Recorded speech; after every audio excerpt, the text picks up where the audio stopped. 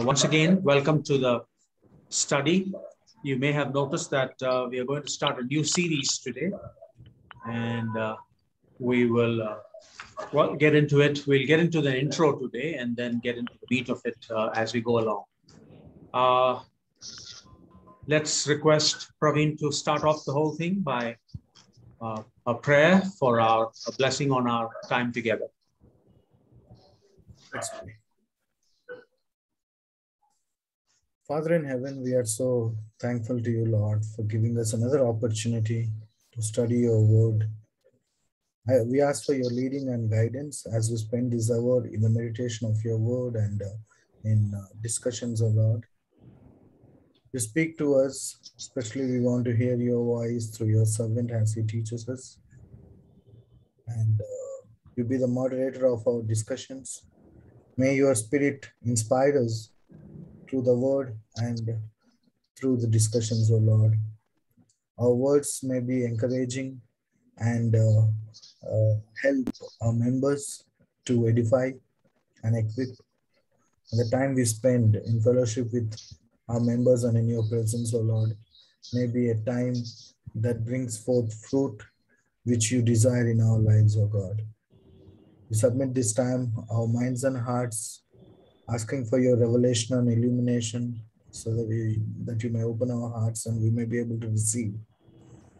And ultimately your name be exalted. In jesus name we pray. Amen. Amen. Okay well uh, uh, today we are going to start a series which i have titled as spiritual discipline for spiritual growth uh, now I have, uh, we have a series of studies on our GCI website. And so I have basically taken uh, the structure from there, but I will be bringing in uh, some discussions even from uh, outside of our fellowship, you know, authors, theologians who have, have had a, you know, a discussion on this.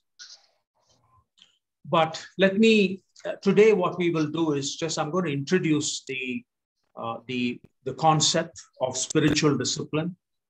And uh, we will get into each of those disciplines as we go along. But before we get into the actual, um, you know, what actually it means, what would spiritual disciplines mean? There is a dilemma that, uh, you know, Christians uh, regularly struggle with. And, and that is what should Christians do in their faith or with their faith, right? With their discipleship. How do we conduct ourselves? And of course, this was also something we discussed some time back, and we turned it into a booklet.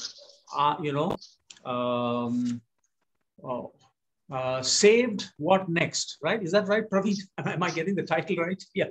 Saved what next? You know what do we do? And the reason we we i think we struggle is for us in the christian faith uh, there are i know there are certain prescriptions in the scriptures but people are so i mean christians are so what you say um, divided over what is it that actually must entail in terms of our behavior and what do we do and all of that. You know, many other faiths have very of them can be very ritualistic. You do certain rituals and you are fine. You know, there's nothing else uh, that you need to bother about. But we Christians, we are constantly looking at our temperature and, uh, you know, am I, am I in the right path? And am I doing okay? Uh, you know, am, is my salvation secure? And so we are constantly wondering whether uh, all my activities are, you know, pleasing in the eyes of God.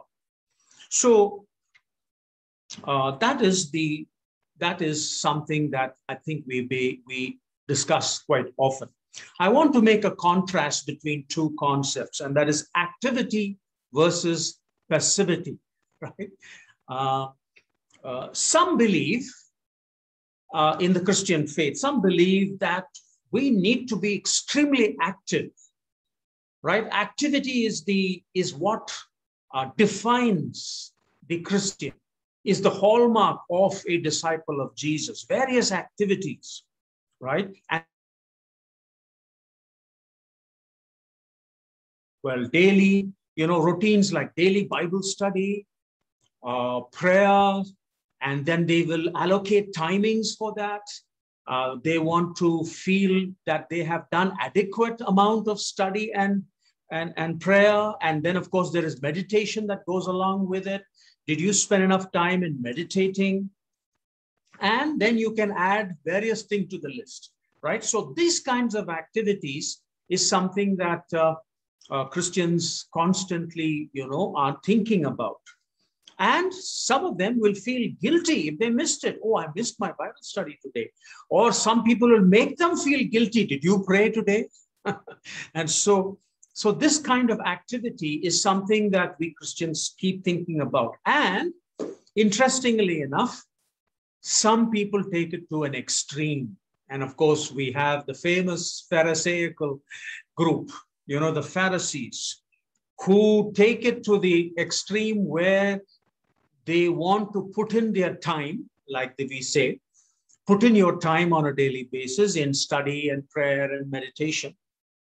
And of course, the Pharisees like to be seen doing that. So they like to do it to be seen. And that is where we call legalistic, you know, they become legalistic. Uh, uh, so activity oriented Christianity can sometimes become legalistic. Then there is, on the other hand, on the other spectrum, uh, the passivity. There are those who believe that, uh, well, Christ has done it all. You know, salvation is not of works. Uh, there is hence nothing for us to do to contribute to salvation. Uh, and so all we need to do is just wait. Wait till, you know, the, wait on the Lord, wait on the second coming. Uh, and as uh, you know, human beings always do. They get, they take it to the extreme where, you know, uh, they don't necessarily have a structured Christian life. They don't subscribe to that. And uh, thus, they can become what we normally call is nominal Christians, right? So on the one extreme, you have legalistic Christians. On the other extreme, we have nominal Christians who will hardly be involved in any of these activities that, uh, uh, that we just spoke about. And of course, of course, there are lots of people who, you know, uh, also talk about imitating Christ. Uh, Christ fasted, Christ prayed, Christ uh, went into solitude, Christ suffered. And so some people, of course, believe that, well, if Christ suffered, I must also suffer. And so they self inflict suffering upon themselves. So these are the various, uh, what do you say, mindsets people bring to the faith. So I just wanted to mention that because, uh, you know, uh, as we get into the subject, I think I hope that we can lay a foundation uh, to be able to understand where we are coming from.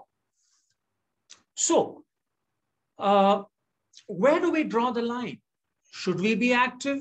Should we be passive? And both are, in one sense, correct.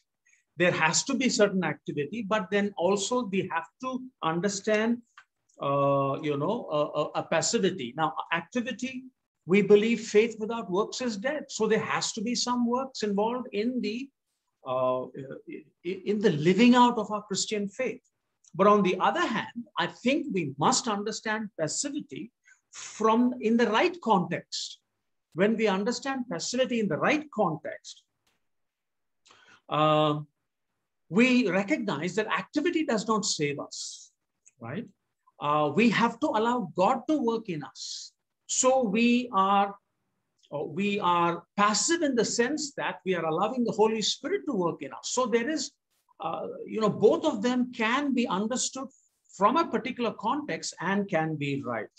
The question is, where do we find the right balance? You know, uh, a right balance for our personal lives. You know, each one of us can be a little different the way we approach all of this, but where do we find the balance in our own personal lives? whether it is activity or in passivity. There is no doubts about the fact that we must be engaged. And that is what I would like to call as the right balance. There has to be an engagement. Christianity cannot be uh, a non-engaged, you know, naam ke vaste uh, faith. There has to be an engagement. All right. Um, right. Uh, there has to be a connection, a union. Uh, we have to be led of the Spirit, inspired in the love of the Father, Son, Holy Spirit. And so, uh, having said that, what is the essence of the Christian of the Christ, of the Christian life? Uh, in our in our you know specific individual situations, what is the essence of the Christian faith, and how is it played out in each one of our lives? And that is where now I move to uh, just talking, just briefly mention about the essence of Christianity and then get into the question what are spiritual disciplines? I believe that uh, one of the essence of Christianity uh, is the fact that we must grow as a Christian. We talk about transformation, don't we? Uh, we lot of uh, pious Christians talked about talk about sanctification. How are these things accomplished? How do we grow in, a, in, a, in our Christian faith? How do we allow ourselves to become, uh, to transform, right? Do we engage or do we participate in sanctification or, or is sanctification entirely of the Holy Spirit? Yes, it is. But is there a participation? And so this is where the essence of Christianity in terms of the lifestyle begins to unfold for us. I think we need to recognize that we are all on a journey. And the Apostle Paul is very, very eloquent when he talks about how we are on a journey, right? A journey of becoming, right? We are, yes, we are, we, we, uh, uh, we are in Christ, but we are also growing in Christ. We, there is a becoming aspect of the Christian faith. So, in that sense, Christianity is a dynamic faith, right? Uh, dynamic in its in the activity that we are involved in, and dynamic in the passivity. Sometimes there is a passivity we embrace where we allow God to be God, as I think uh, has been coming out very clearly in our sermons recently, right? Especially with what we are dealing in terms of the struggles we are facing at this moment. We allow God to be God. If I can bring this essence of Christianity from another angle, Christianity is relational rather than ritualistic, right? Now, uh, I should say it is more relational than ritualistic. There is a there is a ritual or a ritualistic aspect of it. For example, if we are doing daily Bible study, daily prayer, we are following a, a ritualistic pattern, and that's perfectly all right. But on the other hand, we are also recognizing that there is a relational aspect of it. Why do we engage in a ritual? So as to fulfill the relational, the relationality of our faith, right? And it is in this context, I believe, we must understand the subject of spiritual discipline. So what do we, when, when I mention spiritual discipline, what I basically mean is all the things that we do, you know, it can start with Bible study, it can, you know, go to prayer, it can go to meditation, it can go to solitude, it can go to fasting, uh, it can go to serving, uh, and we will look at a list as, uh, you know, towards a little towards the end, all right? Um, so what uh, I am hoping that you are catching from what we have discussed so far is that uh, there is a purpose to spiritual disciplines. Uh, the spiritual discipline is not an end in itself, right? it is an end to a means, or rather, I should say the other way. It, it's a means to an end, right? We use spiritual discipline, we engage in spiritual discipline so that we accomplish something. And that is, I think, uh, the uh, essence of what we will discuss as we go along. So, the essence of the Christian life, the Christian faith, is not spiritual disciplines by itself. You know, the essence of Christianity is not just praying, it's not just Bible study, it's not just meditating or whatever you, uh, uh, whatever you know uh, nomenclature you use, but we do engage in study and prayer and fasting and whatever to develop in, in, in us what we call is spiritual maturity right? What is the use of praying? When we don't really, you know, uh, allow that prayer to transform ourselves? I think I mentioned this uh, this past Sunday that prayer changes us, not changing, does not change God. You know, God in His love towards us, in His commitment towards us, never change changes, but we change as we pray. And so that, that's the question I want to ask, right? For example, people would rather see a patient Christian instead of a praying Christian. Right? I hope you can, are catching this uh, uh, these series of uh, captions that I'm, I'm using. Right? People would rather see a sacrificing Christian instead of a studying Christian. People would rather see a forgiving Christian instead of just a fasting Christian. And people would rather see a mediating Christian rather than just a meditating Christian. People would rather see a confessing Christian rather than a condemning Christian. I hope you like those, uh, those uh, you know, combination of words. You know, uh, bolo I'm just joking.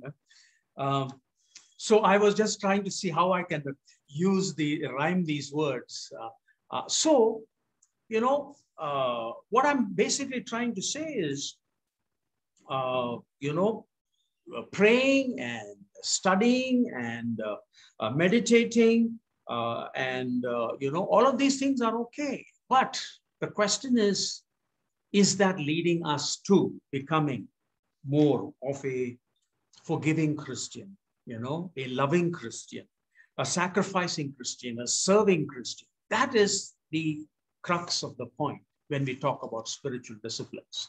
So don't get stuck with just spiritual disciplines. You know, that you think that you're okay if I've been praying every day, but then you go and, you know, chew out your employee or chew out your, you know, your uh, colleague, uh, and you have a relational uh, you have a fight at home every day. What, how does that make us good Christians, even though we are praying and studying and all of that, but we behave in such a rotten manner? So, having said that, what are spiritual disciplines? Okay, now let me just get into uh, the subject proper. Spiritual disciplines can be described as behaviors that facilitate spiritual growth so once again, remember, it's a means to an end. Spiritual discipline does not stop with uh, just the discipline by itself. They are behaviors that facilitate spiritual growth. You see, God's purpose is, God's purpose for us is so that we develop a loving relationship with each other and, of course, with Him. And it is in our relationship with Him that we are able to then have a relationship with one another. So once again, the relational angle comes out loud and clear. One powerful way to know our Lord better is through spiritual disciplines. It is that engagement in prayer and study and all of those list of things that you will bring in uh, that we are connected to the life, the real life, the life of God. And so through that, we are able to understand God better. So the process of spiritual growth and development begins to take place when a person encounters God, right? And we encounter God through and can be through these spiritual disciplines. And God then creates a new level of consciousness or awareness in us. These spiritual disciplines are meant to help us, uh, you know, increase our consciousness of God, our awareness of God. So that simply put are spiritual disciplines. But what is it not? I think to make that contrast will perhaps uh, help us understand it better. Spiritual disciplines are not works that save us. All right. Or maybe I put it another way they are not laws to obey. Spiritual disciplines are not laws that we are supposed to be obeying. Like I said earlier, they are means to an end for, for example, spiritual maturity or growth. Spiritual disciplines is not a sin, it is not a sin to neglect them, but it is not wise to ignore them. And I'm using a quotation from a theologian, uh, a late theologian. Uh, his name was Dallas Willard. Uh, and two names that come very frequently when we talk about spiritual disciplines is this person, Dallas Willard, and Richard Foster. And both of them were connected with GCI. And I think they have done lectures for us in the past. Dallas Willard, of course, passed away uh, several years ago. Richard Foster is uh, in his late 70s now. But these two have discussed this subject quite well. And I'm using Dallas Willard's uh, uh, quotation where he says, It is not a sin to neglect them, but it is not wise to ignore them. And so, in that respect, we need to recognize that we indeed live, we need to realize we live in, the, in, in grace and by grace. Right? Uh, and God motivates us then in this grace to be engaged through these spiritual disciplines with Him and with one another. Let me move now to uh, another aspect. Did Jesus regularly participate in such disciplines? Did Jesus, you know, have spiritual disciplines? Well, let me just quickly go through a list. Uh, did he pray? All right. Uh, at least 25 times in the Gospels, we read Jesus praying. Um, and according to Luke 5 16, Jesus prayed often by himself, right? Uh, so it was a habit for Jesus to pray. So prayer is something Jesus made part of his lifestyle, part of his, you, you could say, a daily routine. Did Jesus fast? And obviously, the, the answer is yes. Even on the onset of his public ministry, Jesus took a 40 days fast in the wilderness. While it made his body weak, uh, his spirit grew stronger. And so perhaps there is a uh, a spiritual benefit when it comes to fasting, done, of course, in, in the, with the right intention, in the right manner, and in the right way. And of course, this is not something very popular with most of us. Fasting is not uh, an easy discipline, you know, to do on a regular basis. What about public worship? Worship is a discipline. This is a spiritual discipline. Well, in G- with Jesus, as far as Jesus is concerned, Luke 4:16 tells us that on the Sabbath day he went into the synagogue as was his custom. So Jesus made it a custom to be involved in public worship, to be joining people in worship. Now, of course, there were times when he was probably moving on, traveling, but on a regular basis, I'm sure he uh, was involved with public worship. Bible reading, of course, he's the very author of it, but, uh, but he did read scripture didn't he? Uh, studying scripture was, I think, in one sense, an important part of Jesus' life. By the age of 12, he was an expert in the scriptures. Uh, he was biblically literate um, and uh, was teaching scripture. He quoted the Old Testament, you know, on so many occasions. So he was biblically literate. So that discipline of being biblically literate is something that I think Christians need to be aware of.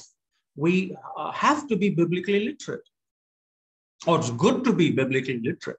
May not be a sin not to be, but uh, good to be so. How about, uh, I'm going to the fifth one, solitude and silence.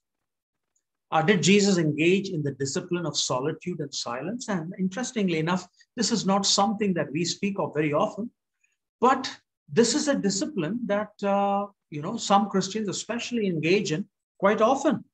And I think uh, Jesus Christ did that. Uh, he regularly ministered in front of large crowds, obviously, but he also made it a habit of getting away from time to time, as it says in Luke chapter 5. In fact, he even encouraged his disciples to get away to a quiet place and rest, right? Uh, and we will talk about when we come to that particular discipline, we will talk a little bit more about that. But solitude and silence is an interesting discipline, which I, I think in a busy world like ours, it's a tremendous challenge. We just can't uh, be away from the busyness of life, but uh, it's very important for us to get into that, uh, into, practice that to some extent. Service, that's a discipline. Some people dedicate their lives to service. Uh, you know, you we can uh, very you know quickly recall so many, and the first name that comes to my mind is Mother Teresa. She dedicated her life to a particular service. Uh, and that was a discipline that she, you know, mastered in one sense quite well and was an expert in it.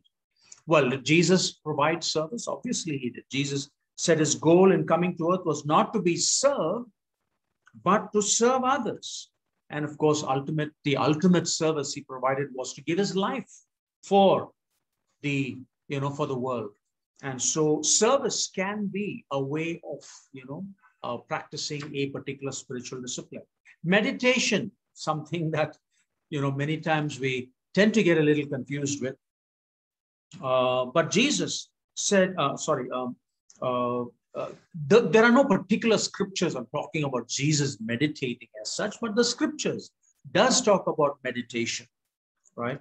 Uh, if you read the Psalms, um, there are many references to the practice of meditation, the meditation on God's word, and uh, uh, perhaps meditation on, uh, you know, even uh, nature by itself to to look up into the sky and to recognize the handiwork of God is a type of meditation.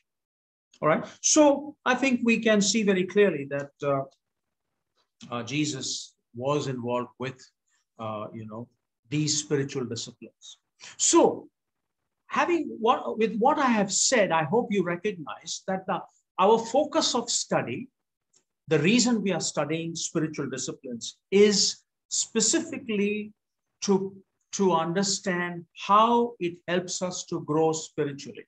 I am not going to talk about the spiritual discipline and explain it, you know, the way we normally do. But I want to uh, uh, uh, zero in on if you are doing prayer, how does it help you? Right? So how does it help you grow?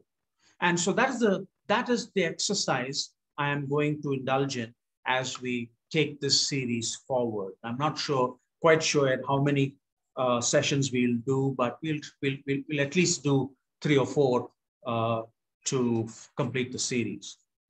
So what are these spiritual disciplines that we will probably discuss? And I'm going to the list that is provided uh, by our, uh, our website. I'm going to share my screen at this moment. Right. Just to help you recognize uh, what we will discuss. Okay, let me just quickly go down to yes, all right. I'm presuming that is uh, big enough, large enough for you to be able to see. I'll probably just zero in a little bit more. Is that okay, Praveen? You better zo zoom in little more fast. Zoom in a little bit more. Okay. Is that all right? Yes. You okay swipe the uh, slide bar towards your right. And okay, let me just see if I can do that. Yes, is that all right? Yes. Yeah, it is going off my screen. So, All right. So if you notice there on the screen, focus of our study, how do these disciplines help us to grow spiritually? That is what we are, what we should be uh, uh, focusing on. So what are the spiritual disciplines we will discuss? Prayer. You know, if you see on the screen, prayer, that is God meets us where we are. Second is silence and solitude, a way to keep us alert to the uh, presence. Let me just get my notes here. Uh, a way to keep us alert to the presence of God, right? Silence and solitude. Uh, and the, the explanation there is to help us recognize what it is supposed to accomplish. When you engage in this in this kind of a discipline, what it is supposed to accomplish. Okay. The third one is study, that is Bible study, engaging ourselves with the written and spoken word of God, right? Fasting, which is spiritually spiritual intensity and intercession by seeking His will, right? Uh, meditation, listening, sensing, and heeding the life and light of Jesus Christ. All right. Uh, submission, the ultimate act of submission, Jesus' death on the cross. You know, something I never realized submission could be a, a spiritual discipline, but uh, this list has the word submission. Maybe we'll discuss that when we come to it uh, down the line. Service, we already spoke about service. The spirit of service reveals, in part, the individual's heart and life, right? Guidance is a spiritual discipline, hearing God's voice and obeying Him. Confession, acknowledging our sins and depending on God for His mercy, right? That can be ter uh, uh, termed as a spiritual discipline. Worship is something that we are all very familiar with. We, I'm sure all of us engage in it on a regular basis. Worship our lives as living sacrifices. Worship is a lifestyle. Celebration is also a spiritual discipline, enjoying and celebrating the true joy that comes from God. And finally, whole life stewardship, a lifelong process as stewards of his possessions. How well we are a steward of the possessions we have can be termed as a spiritual, uh, spiritual discipline. Okay, so that is where I uh, want to leave it. Uh, and, uh, and actually, I you know, uh, in this in this series of studies, I have some questions for discussions. If you notice down on the on the uh, screen, but before we come to that, uh, I just want to uh, clear any doubts that you might have. Uh, did I am I uh, did I make it clear enough for you to recognize what we are discussing, what spiritual discipline means? so if you have any comments or questions to make, Let's take them first, and I'm presuming we should have enough time to get back to the questions for discussion.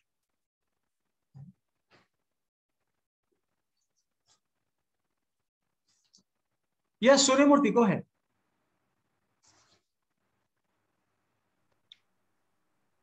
Uh, you said, uh, why do we pray? What is the end of prayer? I just want to tell my experience. It is never myself starting the prayer. The moment you wake up every day in the morning, there are 100 problems. So the 100 problems force me to go to God to pray. So that way God intends that we pray and have a good relationship with God. So it starts, the prayer habit is started by God, not from our side. Okay. All right. Thank you, Suryamurthy. I think uh, what you're saying is uh, is true to all of those disciplines. It is God who inspires us into every one of those. But of course, you specifically focused on prayer, which we will come to next week. Obviously, I'm not dealing with it. But we will discuss that a little bit more uh, thoroughly in terms of what it is supposed to accomplish in our lives. So prayer should not be a mechanical reaction from us. Uh, it should not just remain ritualistic like it is for so many. And some people will say you know, that uh, unless you pray for 30 minutes a day or three times a day or on your knees or with your arms raised, see, these are all the, me the me mechanics of prayer. But that is not something that, uh, you know, uh, we are going to discuss. We want to say, we want to see what God intended. And like you rightly said, Suryamurthy, that uh, we have problems. Uh, I'm surprised uh, at your retired age, you have hundreds of problems as you wake up. but uh, uh, yes, we all have problems, and uh, and certainly that, that drives us to God, and uh, and you know, and that is one way for us to connect with God regularly. Thank you for your thought. Any other any other questions or yes, Bertie, go ahead. Uh, unmute yourself, Bertie. Thank you. Can you hear me? Yes. Uh, we, we, we passed through a history where we were uh, taught uh, some of the disciplines like festivals and tithing and, uh, uh, you know, the Sabbath and etc., which was quite helpful to us in a way that connected us and regularly gave us uh, an opportunity to you know to uh, to check our faith and you know to grow in the faith and uh, it has benefited us now now these things the scripture says that uh, you know the examples in the past in the uh, referring to the old testament uh, was that that we could take comfort and, and have hope and now while it, it's obvious that while the law was an embodiment of truth and godliness uh, without the Holy Spirit, uh, they could not observe uh, that body of laws, etc. But God uh, in Christ has taken care of it, and we are now the recipients and blessings of the Spirit, which enables us to, you know, have His laws written on our hearts, and we, and all that you're mentioning will really help us.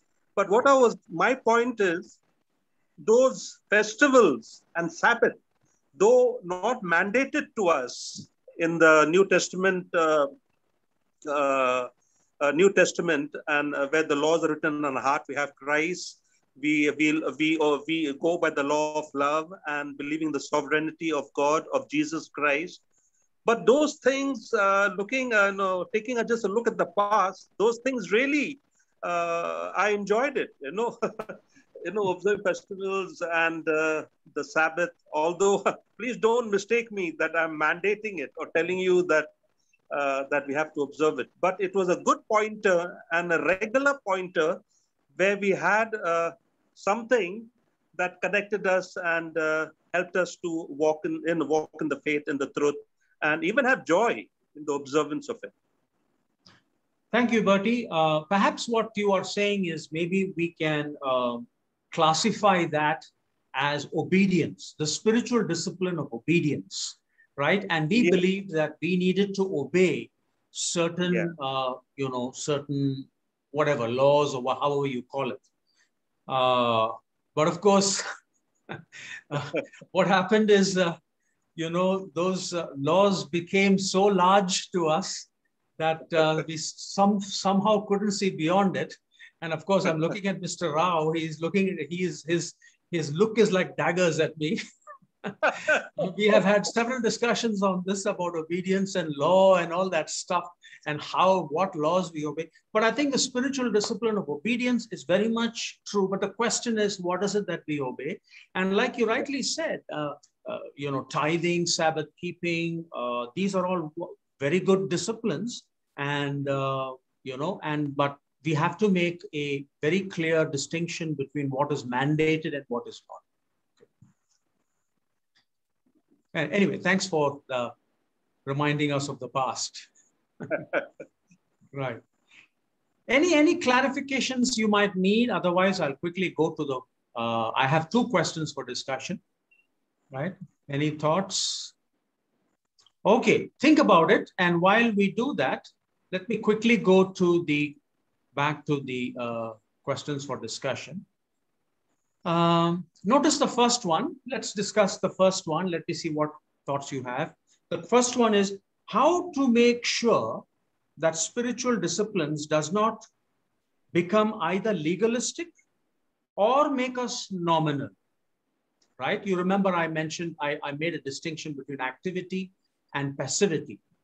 Uh, and uh, we have to be careful that we don't go to extremes uh, and where we tend to become legalistic or we don't care for it at all, where we just make it a, a nominal uh, perspective, you know, or look at it very nominally. And that I think also is not correct. So eh, would you like to share any thoughts on this, how to make sure that spiritual disciplines does not become either legalistic or on the other hand, make us nominal.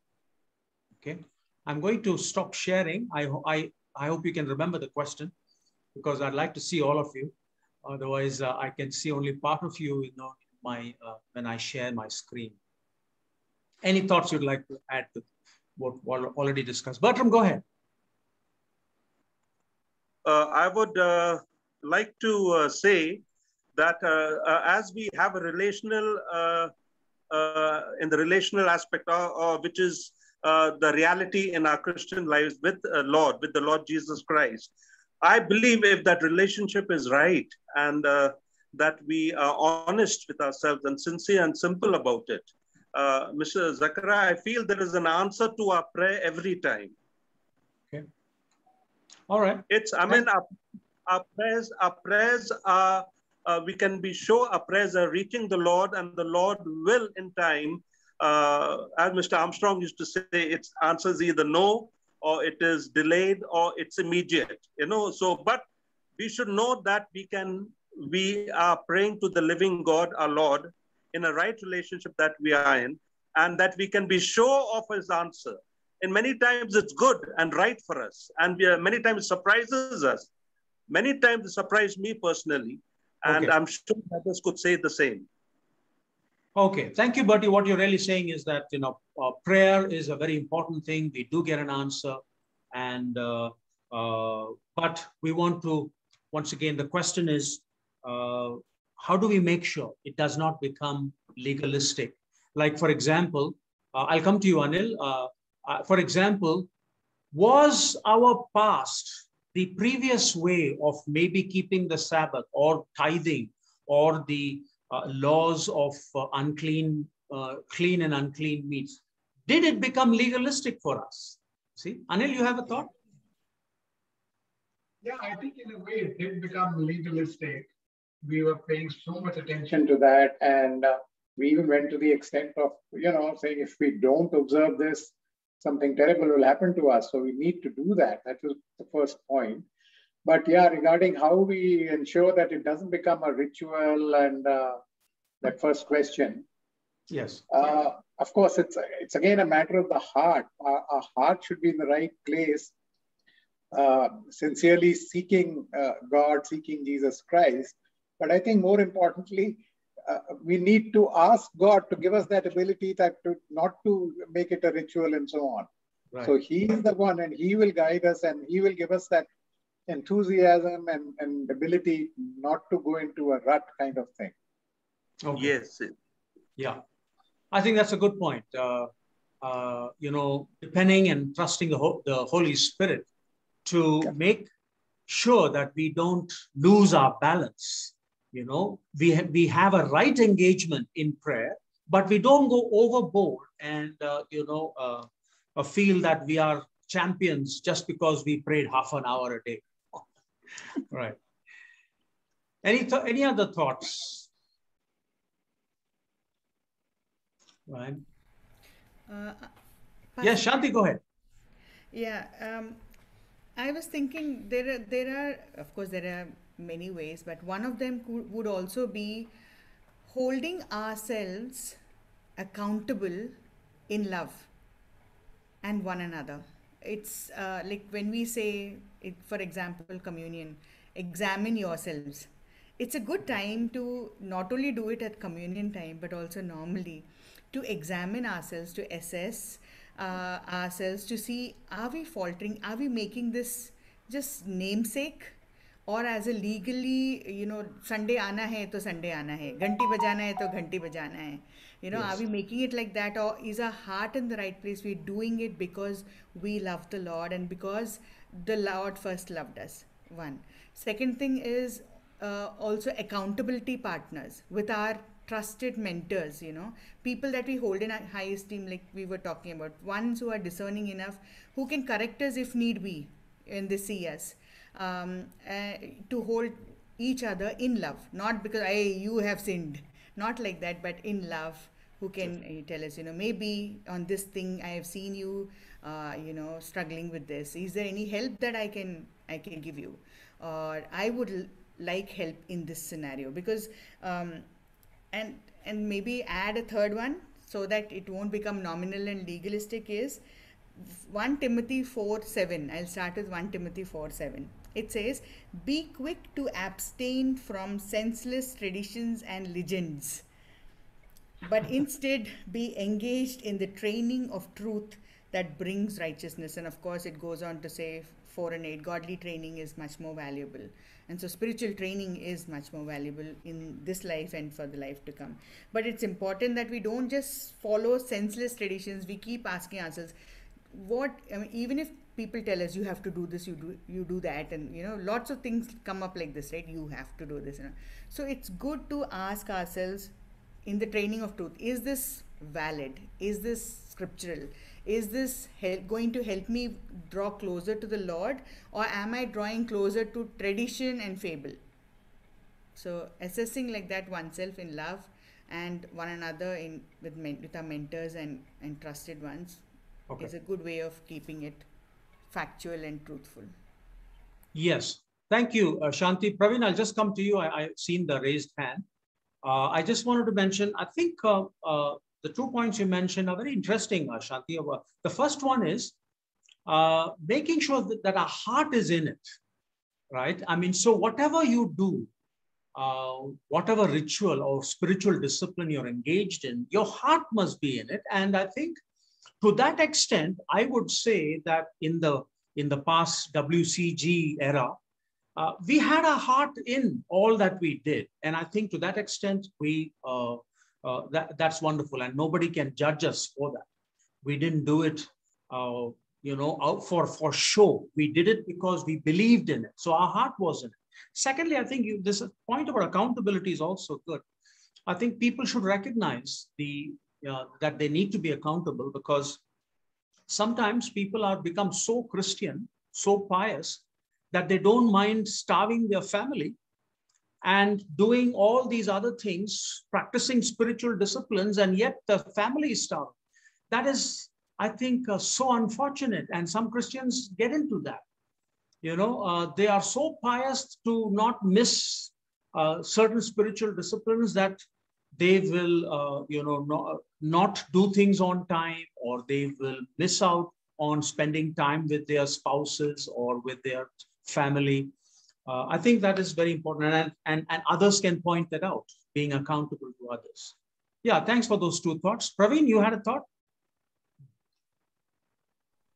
Yeah, what I share maybe may sound a little different from what we uh, what we discussed till now. And uh, the question we have is one of the toughest questions to answer. Uh, first, I would like to give a definition which was uh, given by a, a pastor in USA uh, for legalism. What legalism is, we need to realize what it is.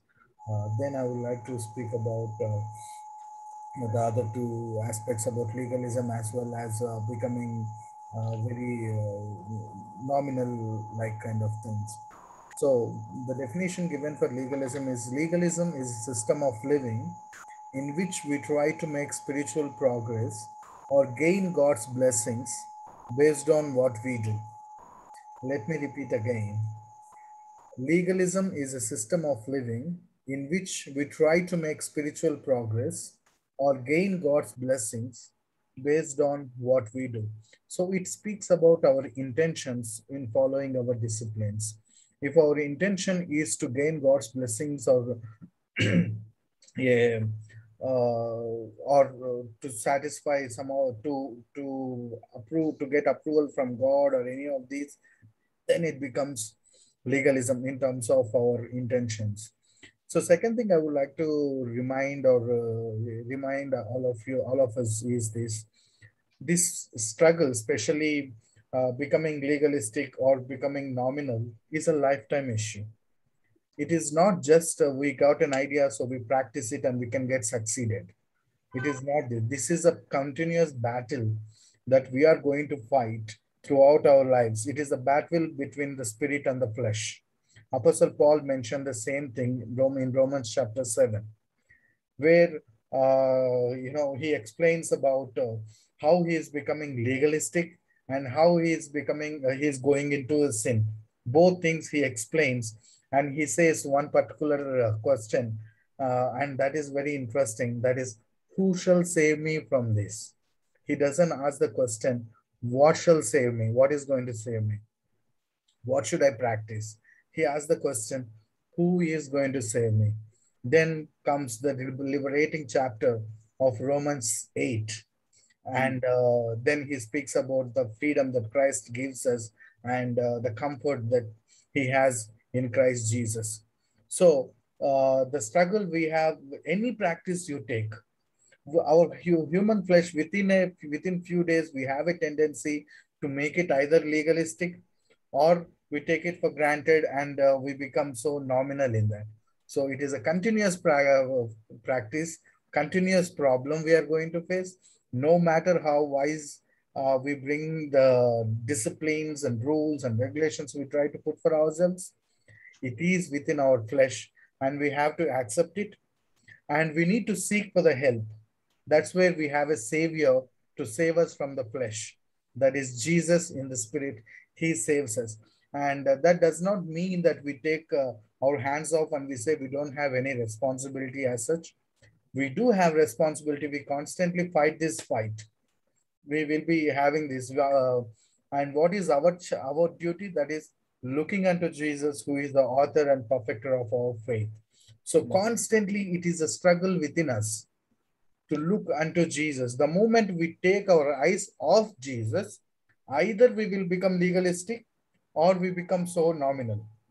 So our constant struggle is to focus and looking unto Jesus. And another point I wanted to bring is something Shanti mentioned also, finding some uh, people where we can be uh, voluntarily, we ourselves can go and be accountable in a very in a healthy atmosphere.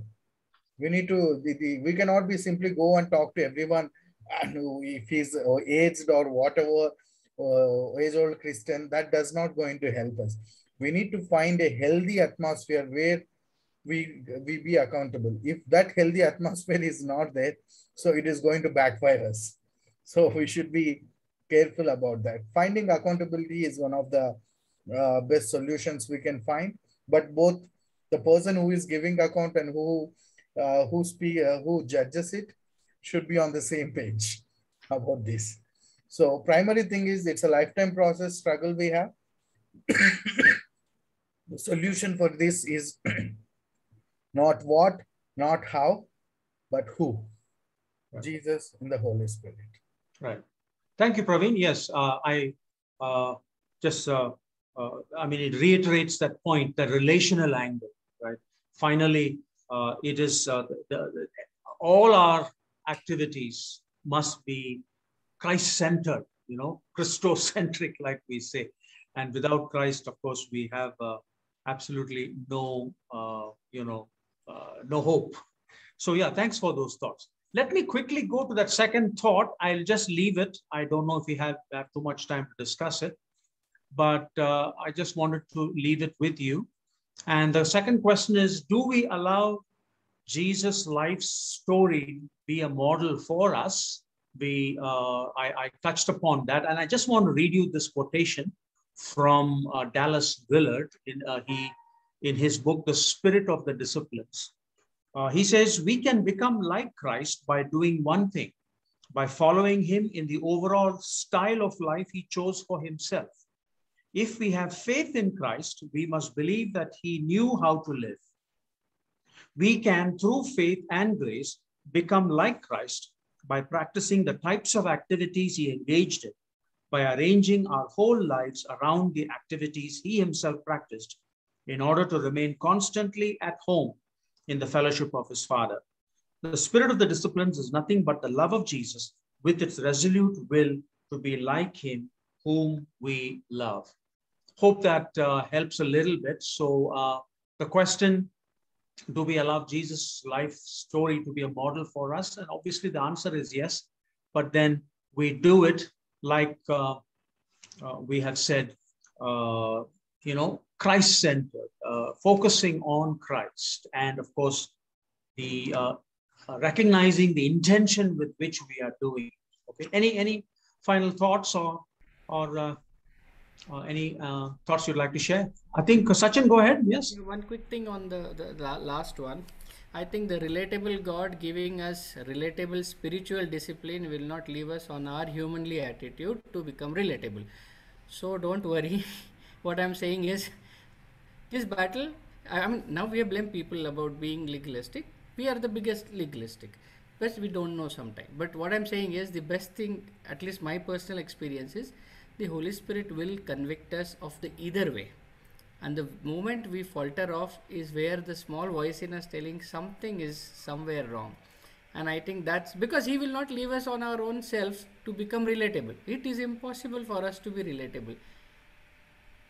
He has to present in us to have that relationship. So, what I'm saying is, the Holy Spirit will play the role to, to convict us, to keep us at guard, it is up to us to to align to remain so that we can hear.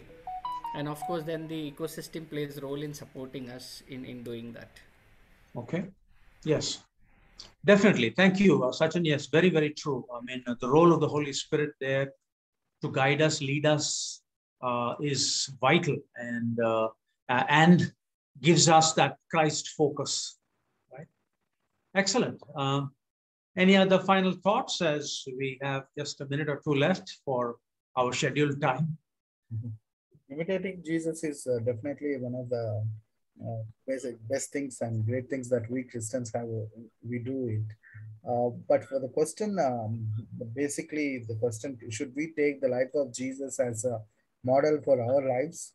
Uh, the answer is both yes and no. Yeah. Yes is uh, definitely that we want to live like Jesus uh, that is there. The no, no part of it is uh, we are not able to live like Jesus. That's why Jesus came. Yeah. And uh, that's that's one. And second thing is, uh, you know about this famous uh, statement, WWJD short form. What would Jesus do? Would Jesus do? Every time asking this question, what would Jesus do? What would Jesus do? uh, that is going to put us back into again this legalistic track. Uh, yeah. That is not that Jesus did not call us, and God did not call us to live uh, uh in uh, in this setup of uh, things as such, but God. called us to live miraculously, where His life He is going to manifest in and through us as the Holy Spirit works in us. Our duty is keeping our eyes and minds hearts open to what he is doing.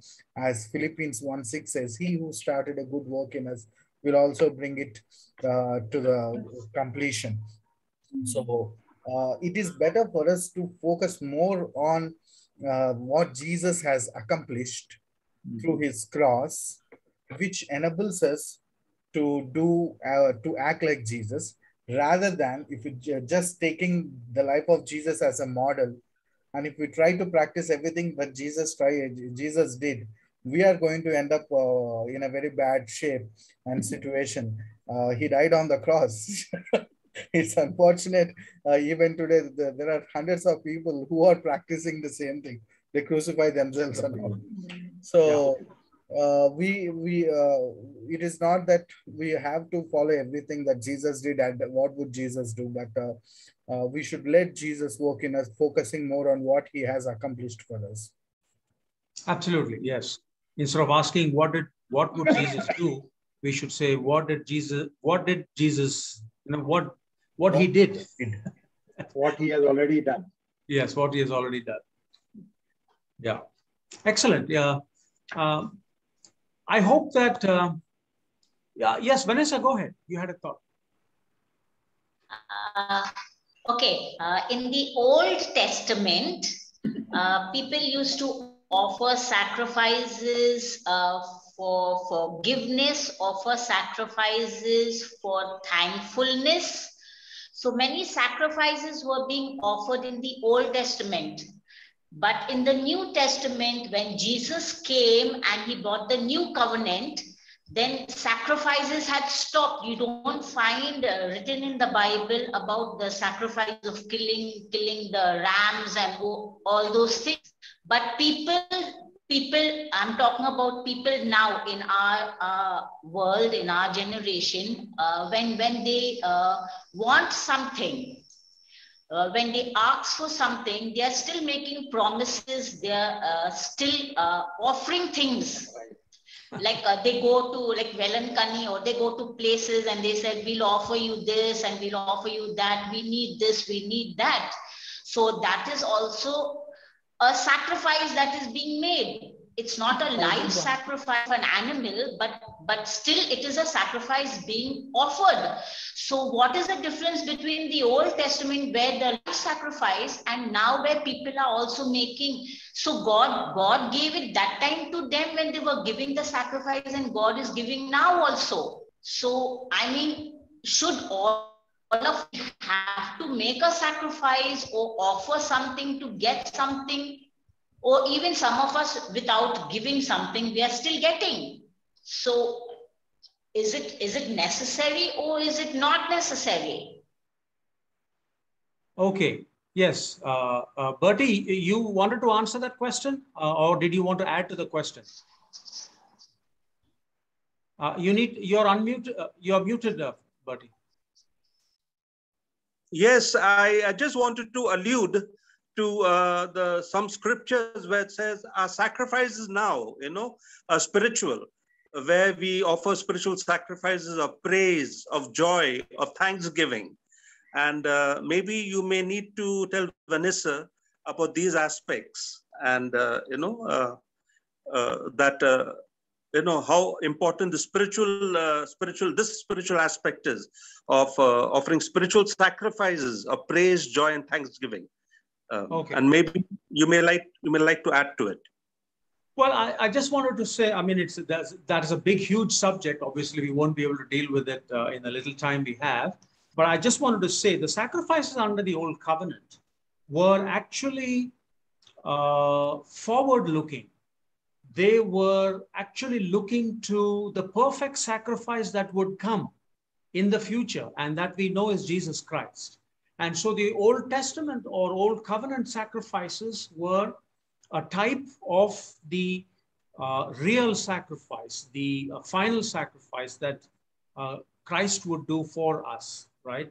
Uh, in terms of now, we need to realize that what Bertie was talking about, sacrifice of praise, is done not as to manipulate God, you know, I mean, uh, what people are trying to do is trying to manipulate God by by saying that okay, I will donate, you know, so much of money if you fulfill this for me, or I, you know, they'll make a vow to go to Velankani, like you said, uh, or go on a pilgrimage. Uh, you know, that kind of mindset is not what I think what Bertie was alluding to. That is a reaction to who God his and the sacrifice he has done for us. And so we give our we give our praise as a sacrifice because it's a response to the sacrifice of our Lord and Savior Jesus Christ. Does that help you, uh, Vanessa? The old covenant one was forward looking. It was looking to uh, Christ as the, uh, the real final sacrifice. And our sacrifices today, in terms of praise and worship and all of that, is more in terms of a response to the sacrifice that God gives to us. Right. Does that help you? Yeah. yeah. Uh, the main thing is uh, let us let us be very careful that we don't try to manipulate God. Uh, you cannot manipulate God to you know uh, to get your uh, job done for you. Right. Any any uh, thoughts on that you'd like? Uh, if you want to have a perspective about Old Testament sacrifices, I will uh, share a link with you. Uh, that's one of our sermons um, related to sacrifices. I guess that would be helpful to you, yeah. especially how we should be looking at Old Testament sacrifices and the sacrifice of Jesus. Right. That also. There are, I guess there are uh, three or four sermons related to that. I'll share those links with you. Good. That'll be helpful. Yes. Okay. As uh, always, time just fleets, uh, you know, when we get into these discussions. But next time, I'm hoping that we can uh, look at prayer. And if we have time, we will look at silence and solitude. Uh, so depending on, you know, how much uh, we can cover, uh, we are focused on how these spiritual disciplines help us for in spiritual maturity and spiritual growth. That will be our focus. All right. So uh, yes, Bertie, Bertie, go ahead. Um, Mr. Zachariah, I think you uh, it would be helpful to all of us if something, uh, if we take up a session on accountability, uh, as uh, uh, Shanti mentioned, as Praveen mentioned, you would agree that that we have uh, God says that being free from sin, now we are slaves to God or slaves to righteousness. And there is a accountability, you know, when we say we are a Christian and a follower without uh, being too, you know, legalistic or being too nominal. Uh, a type of accountability will really help us to, you know, to okay. to reflect on ourselves. Yeah. Uh, I, I presume we can take that up under when we talk about stewardship, perhaps. Uh, maybe, yes, yes. Yeah, maybe that will sort of fit in well with the subject of stewardship. We can bring in the concept of accountability also. Right? Yeah. Yes, you're right. Okay, with that, uh, don't want to keep you waiting. Uh, maybe Bertie, since uh, you spoke last, we can also close in prayer. Thank you. Yeah, let's bow our heads. Father God, we just are so happy and thankful, Lord, that you are God and we are your people. You are our Father. We are your children, and we are the work of your hands. Father, we thank you for these Bible studies, Lord. We thank you for Mr. Zachariah, Praveen, and all the others who give the inputs, Lord, and teach us uh, and guide us, Lord, uh, uh, in our faith, Lord, in our in the truth, and Lord, that we uh, that uh, we, uh, Lord, are we are indeed, Lord, uh, you indeed, Lord, uh, would want us to be growing, Lord, trusting and, and focusing on Jesus Christ, who is the author of our salvation. Thank you, Lord, for these Bible studies. They really enrich us, Lord, and, and help us, Lord, are informative, are, are, Lord, are helpful, Lord, in our, in our Christian pilgrimage here on earth. So we uh, do bless your people who have attended, Lord, and those who are not uh, have not been able to attend. But help us, Lord, uh, to keep our eyes focused on you, uh, Lord. It's very important, Lord, that our eyes on you, Lord, that we wait on you, that we call upon you, Lord, and that we put you first in our lives. Thank you for this time together and bless your people, Father. Thank you.